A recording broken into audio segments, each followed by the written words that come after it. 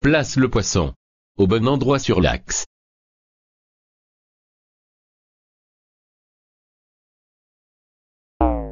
Non, regarde.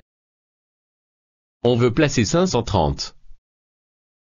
L'accès gradué de 10 en 10, on ajoute 10 à chaque graduation quand on compte, mais attention, on commence à compter à partir de 500. 500. 510. 520. 530. On place le poisson ici.